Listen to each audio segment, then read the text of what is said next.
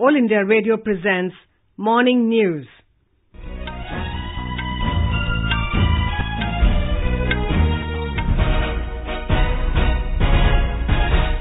Good morning. I am Lalema Aneja Dang and with me is Subhadra Ramachandran. The headlines. Government announces collateral-free loan worth 3 lakh crore rupees benefiting 45 lakh micro, small and medium enterprises. 25% cut in TDS and TCS rates till 31st of March next year. Last date for filing of income tax return extended till the 30th of November. 3,100 crore rupees allocated for migrant workers, ventilators and vaccine development from PM CARES Fund. COVID-19 recovery rate improves to 32.82%. Railways to start issuing waitlisted tickets from 22nd of this month for special trains and three special flights, flights to bring back about 550 stranded Indians from Gulf countries under Vande Bharat mission today.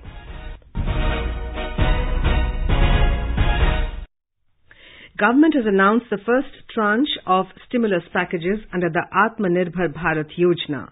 Prime Minister Narendra Modi had on Tuesday made a clarion call of making India self-reliant and had announced the Atmanirbhar Bharat Yojana. Addressing media persons yesterday, Finance Minister Nirmala Sitharaman gave details regarding these financial packages equaling to 10% of the national GDP and amounting to 20 lakh crore rupees. She said the financial stimulus will cater to various sections of the society, including MSMEs, labourers, middle class and industries.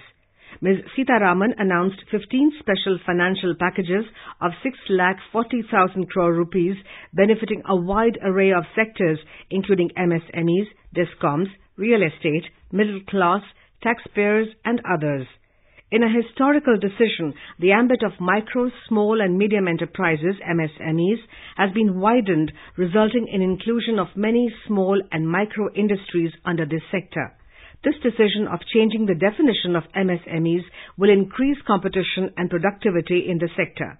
In a major boost to the MSME sector, collateral-free loan of 3 lakh crore rupees has been announced with a moratorium of 12 months. I said there are six major steps for the MSMEs. The first one, there is a collateral-free automatic loan for MSMEs which is being provided. This will give facility up to 3 lakh crores. 25 crore outstanding for those MSME units for whom 25 crore is the outstanding loan or 100 crores whose turnover is will benefit from this. These loans will have a four-year tenure and there will be a moratorium given for 12 months. These are going to be 100% credit guaranteed over as a cover given to banks and NBFCs on principal and interest. So this is going to be available till 31st October 2020. There are no guarantee fees, no fresh collaterals required. This decision will increase cash flow of over 50,000 crore rupees benefiting common people. The date for filing income tax return for the last financial year has also been extended till 30th November, while last date for filing tax audits has been extended from 30th September to 31st October. Finance Minister also announced reduction of statutory provident fund contribution by both employers and employees to 10% of basic wages from the existing 12% for the next three months. The decision has been taken to facilitate more take-home salary for employees and give relief to employers in payment of PF dues, resulting in a liquidity ease of 6,750 crore rupees. The decision will be applicable on all the establishments covered under the Employees Provident Fund Organization EPFO. Besides, Ms. Sitharaman also announced the extension of another scheme under the Pradhan Mantri Garib Kalyan Package PMGKP for three months till August this year. Under it, the government would contribute entire 24% of PF contributions till August. Under the PMGKP, payment of 12% of employer and 12% employee contributions were made into EPF accounts. The total benefits accrued is about 2,500 crore rupees to 72.22 lakh employees. Liquidity relief of 2,500 crores to 72.22 lakh employees is now being proposed to be provided by extending this contribution for the next three months also. June, July and August 2020, the EPF contribution will be paid by Government of India May Sitharaman announced a sum of 30,000 crore rupees for non-banking financial companies, housing finance companies, HFCs and microfinance institutions under a special liquidity scheme. Further, 45,000 crore rupees partial credit guarantee scheme 2.0 was also unveiled for NBFCs, HFCs and MFIs with low credit rating to help them extend loans to individuals and MSMEs. Government of India now launches a 30,000 crore special liquidity scheme. Under the scheme, investment will be made in both primary and secondary market transactions where investment grade debt papers, this is not infusing equity, this is taking and buying debt papers of NBFCs, housing finance corporations and microfinance institutions. And not high quality debt papers. They can be investment quality also. Providing relief to the construction companies, central agencies like Railways, Ministry of Road Transport and Highways and Central Public Works have been asked to grant an extension of six months for completion of work covering construction and other related contracts. In a relief to real estate developers, Finance Minister also informed that the deadline for completion of projects will be extended by up to six months, treating it treating the coronavirus outbreak as an event of force majeure under the realty law RERA. She informed that Urban Development Ministry will issue advisory to all the states and union territories to treat COVID-19 period event as force majeure. The move will benefit real estate sector and agencies which have been entrusted to complete civil work. In a relief to power distribution companies, a liquidity flow of 90,000 crore rupees to the PFCs and RECs have been announced. Discoms today are facing unprecedented cash flow problems. They desperately need help. Otherwise, they are unable to pay power generating companies. All the states, Discoms are in serious crisis. So in order to help them, there is a liquidity, emergency liquidity injection, which is happening to the extent of 90,000 crores. Now the Power Finance Corporation, REC, the Rural Electrification Corporations, both of them put together will infuse liquidity of 90,000 crores. Vivad Se Vishwas scheme has also been extended up to 31st December without obligation of any extra payment. Finance Minister said that the economic package of 20 lakh crore rupees announced by the Prime Minister will enhance growth and build a very self-reliant India, Atmanirbhar Bharat. Speaking exclusively to AIR News, Vice Chairman Niti Aayog, Rajiv Kumar termed government's impetus to MSME sector as historic and said the Atmanirbhar Bharat Abhiyan will lay a strong foundation for edifice of self-reliance in the country. This has been an outstanding package which is just the right follow-up uh, to the Prime Minister's speech where he had promised uh, an unprecedented uh, stimulus for the Indian economy. Finance Minister Sitharaman has chosen to give this out in different tranches, the first of which was announced. And focus there has clearly been to enable our small and medium enterprises to get over this crisis and not let the cash crunch convert itself into insolvency and bankruptcy, uh, for which uh, some major steps have been taken, and including a 3 lakh crore collateral-free debt, uh, 30,000 crore equity infusion. Prime Minister Citizen Assistance and Relief in Emergency Situations Fund Trust today decided to allocate 3,100 crore rupees for fight against COVID-19. Out of this amount, a sum of around 2,000 crore rupees will be earmarked for the purchase of ventilators, 1,000 crore will be used for care of migrant laborers, and 100 crore rupees will be given to support vaccine development. The trust formed on 27 March this year is headed by Prime Minister and other ex-officio members of the trust are Defence Minister, Home Minister and Finance Minister. More from our correspondent. For augmenting the infrastructure to tackle COVID-19 cases across the country, 50,000 Made in India ventilators will be purchased from PM CARES Fund. These ventilators will be provided to government-run COVID hospitals in all states and UTs for better treatment of the critical COVID-19 cases. For strengthening the existing measures being taken for the welfare of migrants and poor, the state will be given a lump sum assistance of total 1,000 crore rupees from PM CARES Fund. This amount would be provided to the state government to place it at the disposal of district collectors, municipal commissioners for strengthening their efforts in providing accommodation facilities, making food arrangements, providing medical treatment, and making transportation arrangements of the migrants. Indian academia, startups, and industry have come together in cutting-edge vaccine design and development to support the COVID-19 vaccine designers and developers. An amount of 100 crore rupees will be given from PM CARES Fund as a helping hand to catalyze vaccine development, which will be utilized under the supervision of Principal Scientific Advisor. Anupam Mish, AIR News, Delhi. Agriculture Ministry has said that an amount of 18,517 crore rupees has been released under PM Kisan during the lockdown period and nearly 9.25 crore families have benefited. The ministry said in Rabi marketing season 2020-21, a total of over 277.38 lakh metric tons of wheat has arrived in Food Corporation of India, out of which around 269 lakh metric tons was purchased. It also said in Rabi season 2020-21, a total of 3,208 designated procurement centers for Rabi pulses and oilseeds are available in 11 states. It also said 3.17 lakh metric tons gram has been procured from nine states, 3.67 lakh metric tons mustard from five states, and 1.86 lakh metric tons of tur from eight states.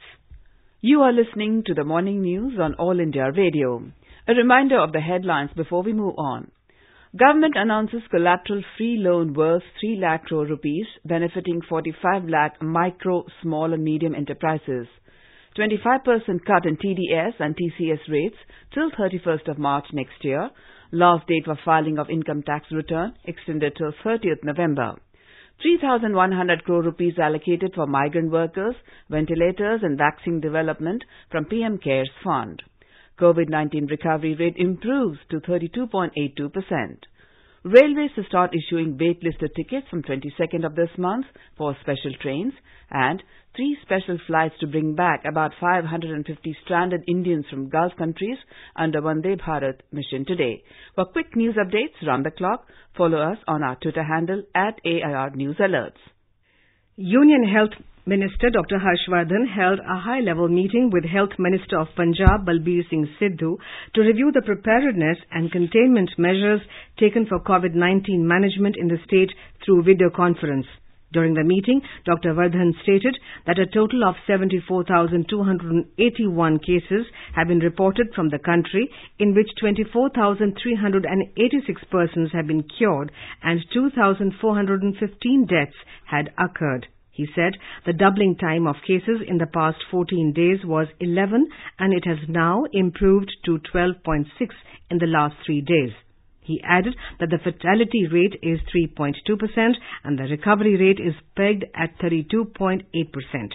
The Union Health Minister also informed that as of now, 900 dedicated COVID hospitals with around 1.80 lakh beds and 2,040 dedicated COVID health centers with over 1.29 lakh beds and 8,708 quarantine centers and 5,577 COVID care centers are now available to combat COVID-19 in the country. Ministry of Railways has decided to start issuing of waitlisted tickets from the 22nd of May for journeys not only on its presently operational special trains as well as in those to be notified in due course of time. As per the Railway Board order, there will be a cap on the waitlisted ticket in these trains.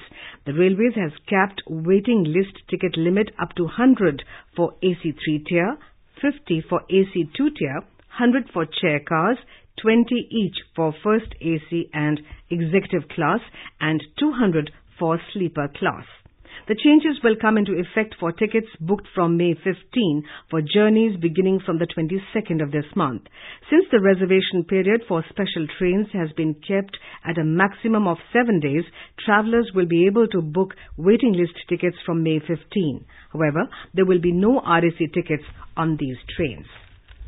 Delhi Metro Rail Corporation DMRC is working out a detailed cleaning and maintenance work of Delhi Metro in view of the pandemic. The exhaustive exercise includes sanitization of 264 stations, over 2200 coaches, 1100 escalators and 1000 lifts. DMRC is finalizing the protocol for social distancing to be followed while this exercise is on. Delhi Metro has, however, informed that the date for resumption of services has not been finalized yet and it will be notified at a later stage. It further clarified that all systems of the metro, including signaling, electrical work, rolling stock, tracks, among others, have to be tested in detail before services commence. Day 8 of the Vande Bharat mission will see one flight from Jeddah to Kochi and two flights from Dubai to Bhubaneswar and New Delhi. Nearly 550 passengers are expected to fly back today from Jeddah and Dubai. The flight from Dubai to Bhubaneswar will be the first flight to Odisha under the Vande Bharat mission. Priority for repatriation is being given to workers in distress, elderly people, urgent medical cases, pregnant women and others stranded in difficult situation. Only those who are found asymptomatic will be allowed to board the flight. Nancy, a stranded student, got stuck in transit in Dubai while flying from the United States. She is now one of the passengers returning home on board Dubai to Delhi Vande Bharat flight. She has thanked the government for this initiative. My name is Nancy and I'm a student in LA and I got stranded here. Like I was flying via Dubai and I got stranded in Dubai for two months. I'm very thankful for this Vande Bharat mission that is taking us back to our home. Under Vande Bharat mission, two evacuation flights, namely from UK and Kuwait, carrying over 500 stranded Indians arrived at Ahmedabad airport at midnight. Our correspondent reports that a batch of 177 stranded Indians returned to the city late evening yesterday from Kuwait. Similarly, a total of 327 Indians from UK also arrived at Ahmedabad in the wee hours today. So far, four flights have arrived in the city carrying around 750 stranded people. Meanwhile, the number of COVID-19 cases in the state rose to 9,268 with 364 new patients reported yesterday, while the death toll of COVID-19 patients went up to 566 with the death of another 29 patients. Here's a report. As many as 316 patients were discharged from the hospitals yesterday, taking the total number of persons recovered from COVID-19 in the state to 3,562. Ahmedabad reported the highest 292 cases yesterday. Amreli district, which was in the green zone till now, reported its first case yesterday. A 67-year-old woman who had arrived from Surat was tested positive in Amreli district yesterday. With this, COVID-19 entered in all the 33 districts of the state. Meanwhile, the government has formed an expert committee to recommend economic revival measures post-lockdown, which will be headed by former Finance Secretary of Government of India, Hasmukh Adhia. The committee will submit its final report within one month. Aparna Khund, AIR News, Ahmedabad. Uttar Pradesh government has decided to give 50% subsidy on PPE kits to those nursing homes and registered hospitals who will provide treatment to the patients on the rates decided under Ayushman Bharat scheme. Government will also extend the registration for six months of those hospitals who are registered under Ayushman Bharat. Chief Minister Yogi Adityanath has said that the fight against COVID-19 can easily be won with the help of private doctors. Meanwhile, coronavirus has now spread to all 75 districts of the state, though the number of cases and mortality rates remain low. A report. All 75 districts in the state are now corona infected as one positive case was found in Chandauli district. It was the only district left where no cases were found till date. Now there are 1744 active cases in 69 districts. Total 4 deaths were reported from the state due to COVID in last 24 hours, taking the toll to 86. One resident of Ayodhya district died on board in Shramik special train at Unnao district and during postmortem in King George Medical University Lucknow, it was found that he was corona positive positive. Following the incident, the whole staff involved in post-mortem has been quarantined and post-mortem house is now closed for sanitization work. Meanwhile, officials in Kanpur, Agra and Meerut districts have been asked to enforce lockdown strictly since number of COVID-19 patients are still high in these districts. Sushil Chandra Tiwari, AIR News, Lucknow. In the Union Territory of Jammu and Kashmir, the Industries and Commerce Department, is Kashmir Division, is gradually resuming its industrial activities in areas which are not designated as red zones. Priority is being given to restart units manufacturing essential commodities and medical supplies. At present, there are 31 cold stores in Kashmir holding about 25,000 metric tons of apple, which would be gradually exported to fruit markets till the middle of June this year. The efforts are aimed to give some impetus to the economy by resuming industrial and manufacturing activities in Kashmir. A report. With government relaxing lockdown measures to permit gradual resumption of activity in certain sectors, Industries and Commerce Department in Kashmir has restored industrial activity and more importantly, the fruit that was lying in cold stores. Consequently, about 1450 fruit trucks have left from cold stores to Delhi and other terminal markets from Kashmir. Regulating the supplies of the fruit produce to terminal markets is bound to fetch remunerative prices for the dealers as there were concerns that due to extended lockdown, the apples may be sold locally at throw away prices. This is Sunil Kohl for AIR News from Srinagar. The total COVID-19 infected cases in Tamil Nadu surged past the 9,000 mark yesterday with the confirmation of 509 new cases. They include five of the evacuees who reached Chennai from abroad. However, active cases remain less than 7,000. 42 people were discharged yesterday. Three others succumbed to the disease, all from Chennai with comorbidity like diabetes or hypertension. The total death toll so far due to the disease in the, in the state is 64. Meanwhile, evacuation of passengers from abroad under the Vande Bharat mission is going ahead. Here's more from our correspondent. As part of the first phase of the Vande Bharat mission, a flight from Chicago brought 142 stranded Indians to Chennai yesterday, including an infant and 62 women. Two more flights are awaited from Dhaka and Manila today with a total of 425 passengers on board, while another flight from Chennai is being operated to Dhaka with 170 people. On Friday, the last day of the first phase of the Vande Bharat evacuation mission, another flight is awaited from London. Various political leaders in Tamil Nadu have expressed concern that the state is missing in the second phase of the Vande Bharat mission. They say there are still thousands of people from the state who are desperate to return from several other countries. Jai Singh, AIR News, Chennai. In our series, Experts Speak on All India Radio, we bring you the views of the leading medical experts on COVID-19. Dr. Sanjay Pandey of GB Pant Hospital, Delhi said that the symptoms of the coronavirus are upper respiratory tract infection, sneezing and cough. इसमें कुछ भी करने की आवश्यकता नहीं है। अगर मान लीजिए कि आपके पास बैठा हुआ व्यक्ति संक्रमित भी है तो सरकार ने जैसा बार बार कहा है कि आप सोशल डिस्टेंसिंग मेंटेन करिए, आप मास्क का प्रयोग करिए, आप बार बार साफ़ सफ़ाई का ध्यान रखें, हाथ को धोएँ। अगर सैनिटाइजर नहीं है तो साबुन से हाथ धोएँ। तो अगर आप साफ़ सफ़ाई रखते हैं, सोशल डिस्टेंसिंग मेंटेन करते हैं तो अगर आपके आसपास कोई कोरोना संक्रमित मरीज़ भी है और उसमें कोई सिम्टम नहीं है तो उससे उसके प्रसार की संभावनाएँ काफ़ी कम हो जाती है। Dr. Nand Kumar, Professor of Psychiatry, AIIMS, suggested the people to stay at home, spend time with family members and practice yoga. We are going to overcome this crisis within a few weeks. In the coming few weeks, stay at home, spend time with the family, do household work, exercise, listen to music, sing with the family, do yoga, meditation and take care of emotional need of the family and yourself. Indian cricketer Virendra Sehwag appealed to the people to follow all government guidelines and directives on lockdown to combat the COVID-19 pandemic.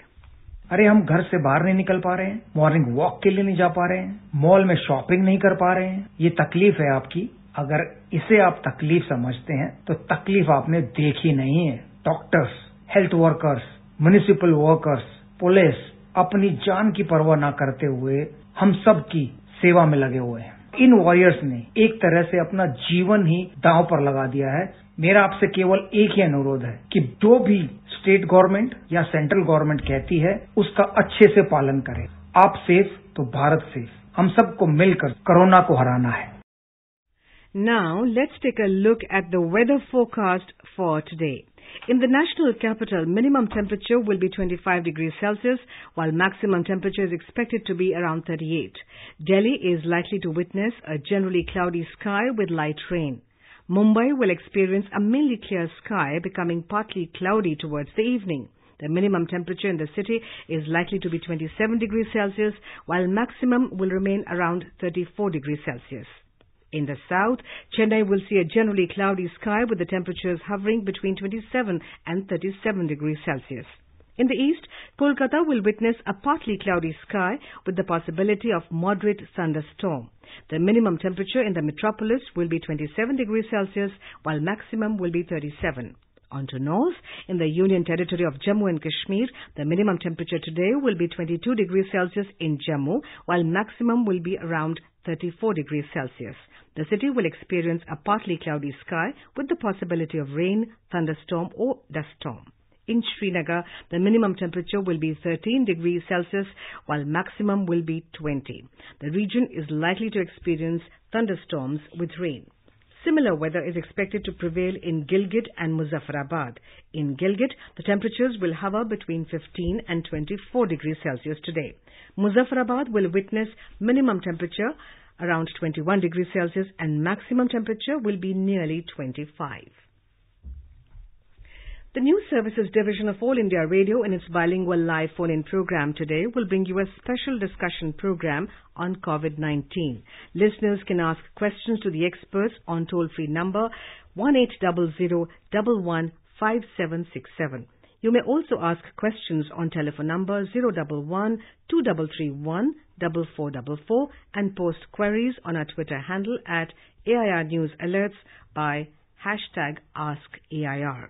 This can be heard tonight on FM Gold channel and additional frequencies from 9.25 p.m. onwards. This program will also be available on our website newsonair.com and on our YouTube channel News on AIR Official.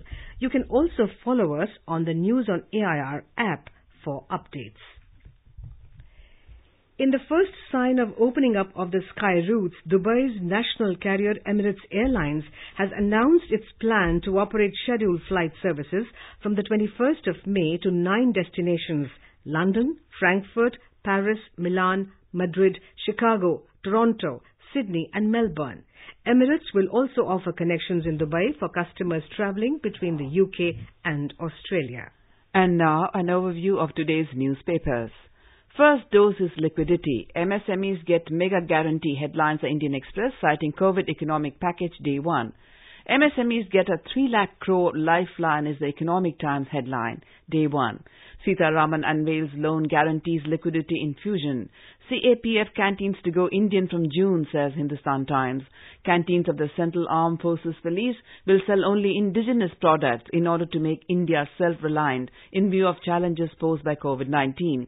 The Hindustan Times that India will be recruiting 1,500 patients in about 30 hospitals for WHO's Global Solidarity Trials for treatment of COVID-19. Haryana police personnel will now get some relief with the approval a weekly off on rotation basis reports the Tribune.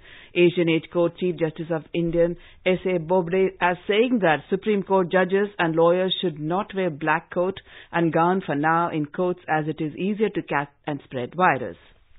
And now before we end the bulletin, the headlines once again. Government announces collateral-free loan worth 3 lakh crore rupees benefiting 45 lakh micro, small and medium enterprises. 25% cut in TDS and TCS rates till 31st of March next year. Last date for filing of income tax return extended till 30th November.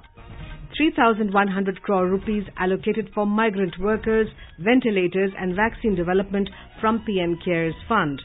COVID-19 recovery rate improves to 32.82%. Railways to start issuing waitlisted tickets from 22nd of this month for special trains and three special flights to bring back about 550 stranded Indians from Gulf countries under the Vande Bharat mission today. And with that, we end the morning news. Have a nice day.